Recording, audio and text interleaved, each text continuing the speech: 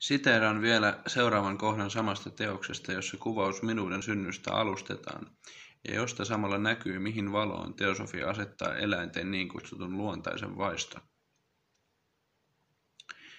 Kunakin elämänsä hetkenä on jokaisella eläimellä yhtä paljon, eikä enemmän viisautta kuin saman luokan muillakin eläimillä. Sama intelligenssi, sama sielu, henki, niin sanoakseni, on kaikkien takana. Kaikkien ennen eläneiden siihen luokkaan kuuluneiden eläinten kokemus on samassa määrin jokaisen käytettävissä, mutta muuta kokemusta ei ole tarjona, eikä minkään eläimen fyysiset aivot kykene hankkimaan uutta kokemusta, joka hyvin suuresti eroaisi edellisistä.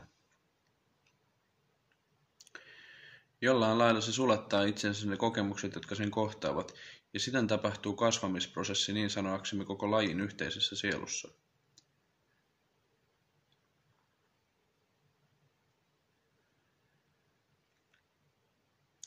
Monadinen substanssi on kehittymäisillään. Tätä valaisee tuo tunnettu seikka, että vasta löydetyissä maissa nisäkkäät ja linnut eivät alussa arastele ihmisiä.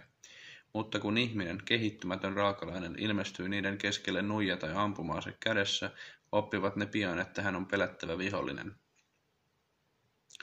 Eivätkä ainoastaan hänen julmuutensa onnettomat uhrit tätä opi, niiden yhteinen tajullinen sielu ymmärtää asianhaaran ja uusi huomio värähtää läpi jokaisen sen myöhemmän ilmennyksen.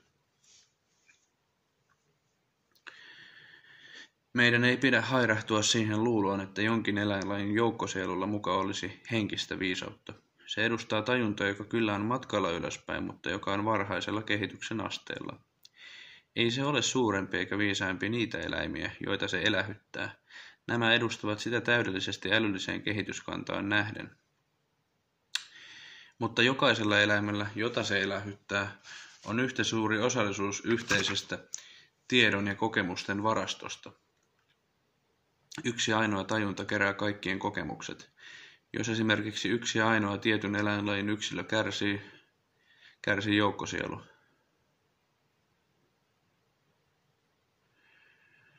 Aivan samoin on inhimillisen olennon laita. Jos oikea käsi loukkaantuu, kärsii ihminen, vaikkei hänen vasen kätensä tai jalkansa kärsisikään.